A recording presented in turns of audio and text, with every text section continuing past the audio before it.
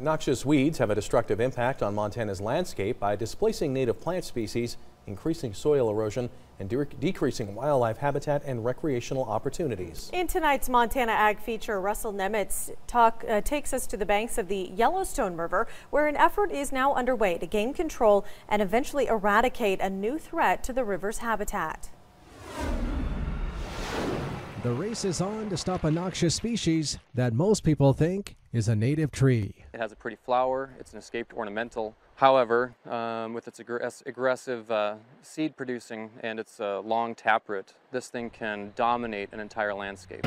As part of an ongoing effort, the Yellowstone County Weed District is addressing the existing salt cedar invasion along the Yellowstone River near Billings. If we can clear it out upstream, get rid of the seed the seed bank, get rid of the trees, and work our way downstream, then we can have a shot at eradicating this plant on the Yellowstone River.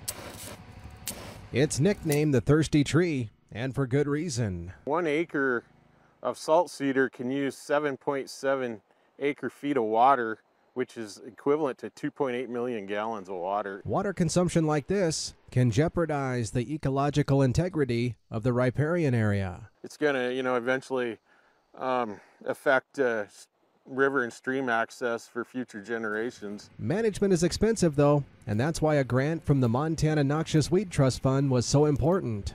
Normally granting that million and a quarter to a million and a half dollars a year, and a lot of that is cost share. The cooperative pro projects is a 50-50 cost share. Very important to get all the way around. Them. Treating and monitoring can also be a daunting task, but GPS technology is not only making things a little bit easier, but more efficient. It's made our work a lot easier being able to catalog it and be able to tag it with that GPS. And then also with our picture taking, um, now with our phones, it's much easier to uh, incorporate the GPS tagging. So when you take that picture, all that information is with it. So the trick really is to get to these noxious weeds like salt cedar as early as we can so we can stop them before they impact millions of more acres of productive ground here in Montana.